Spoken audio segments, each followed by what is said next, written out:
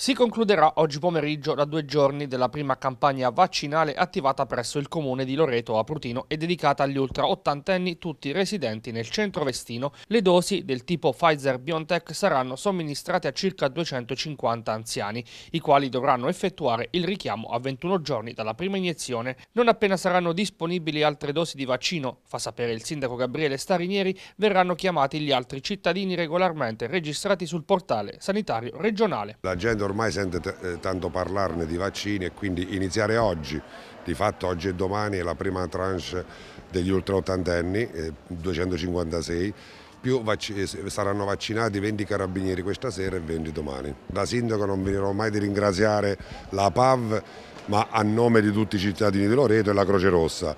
Poi ecco, i team vaccinali che si stanno adoperando, vaccinando eh, diciamo, in pratica tutti i giorni, quindi ecco un, un, momento di massimo impegno. Per quanto riguarda la situazione contagi, il coronavirus in questa terza ondata per ora sta risparmiando il comune di Loreto, a differenza dei paesi limitrofi, dove la situazione è sotto controllo ma viene costantemente monitorata dalla ASL di Pescara. Sul comune di Loreto Prudino abbiamo 27-28 casi attivi di cui un anziano ospedalizzato. I cittadini stanno rispettando abbastanza il DPCM io invito tutti i giorni comunque ad adottare eh, tutte le raccomandazioni che ormai da un anno si vanno facendo. Una dose di buona fortuna occorre, speriamo che il trend eh, resti, ah, resti così.